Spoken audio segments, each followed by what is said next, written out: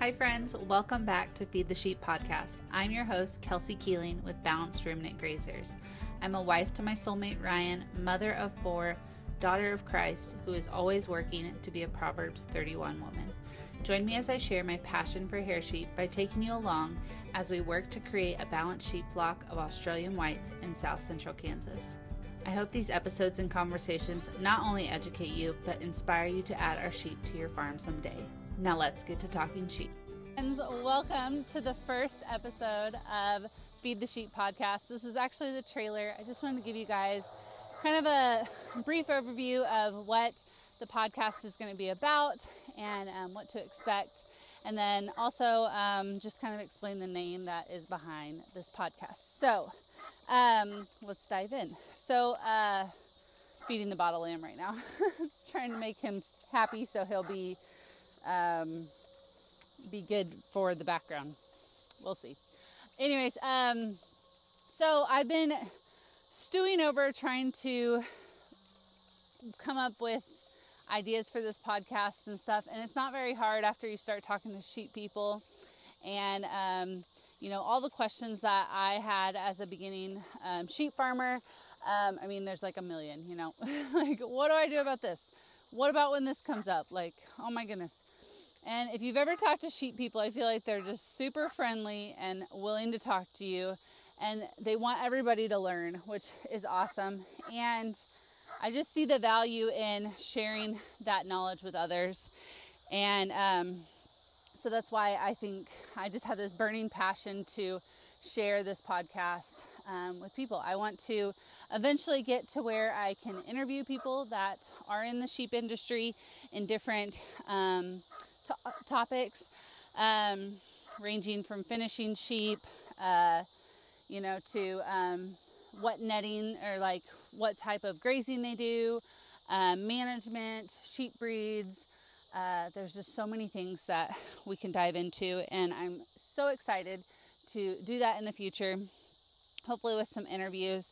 Um, for right now, the first 100 episodes that I will be doing are um, all about beginning sheep farmers. So, like all the questions that I had when I was a new sheep farmer and um, trying to prepare for sheep, what I needed to prepare for, and just everything that goes into that.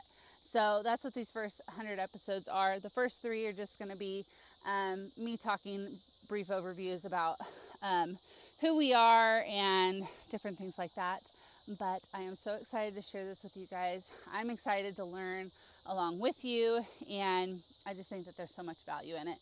And then the last thing that I wanted to share was just the uh, name of this um, podcast. I think it's really important and it has a lot of meaning to my heart. Sorry, like I said, I got a bottle lamb here.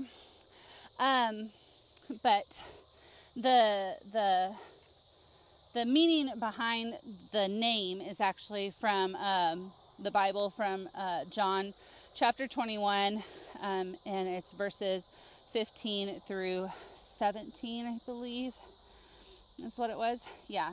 And um, essentially, it's just Jesus telling Peter to, uh, you know, share the gospel, share, um, share uh, the love that he has for God. And my husband and I have just been having this calling on our life to share our faith and, um, you know, feeding the sheep is something that we do daily.